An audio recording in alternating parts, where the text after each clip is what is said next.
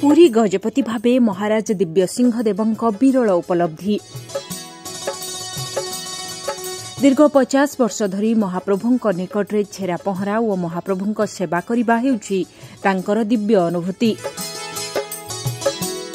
ଉଣେଇଶହ ଏକସ୍ତରୀ ମସିହାରୁ ମହାପ୍ରଭୁଙ୍କ ସେବାରେ ଗଜପତି ମହାରାଜ ଉଣେଇଶହ ସତୁରୀ ମସିହାରେ ମାତ୍ର ସତର ବର୍ଷ ବୟସରେ ତାଙ୍କର ରାଜ୍ୟାଭିଷେକ କରାଯାଇଥିଲା।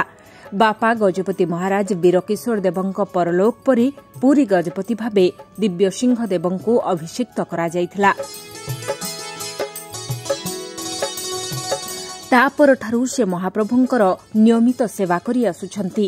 ତିନି ଠାକୁରଙ୍କ ସେବା ପାଇଁ ସେ ନିଜ ଜୀବନକୁ ସମ୍ପୂର୍ଣ୍ଣ ଉତ୍ସର୍ଗ କରିଛନ୍ତି।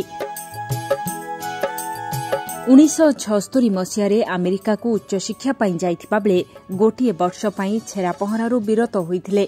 ମହାପ୍ରଭୁଙ୍କ ଆଦ୍ୟ ସେବକ ଭାବେ ପରିଚିତ ଗଜପତି ମହାରାଜ ମହାପ୍ରଭୁଙ୍କର ବିଭିନ୍ନ ନୀତିକାନ୍ତି କରିଥାନ୍ତି। ଚଳିତ ବର୍ଷ ଗଜପତି ମହାରାଜ ଅଡ଼ଷଠି ବର୍ଷ ପୂରଣ କରିଛନ୍ତି।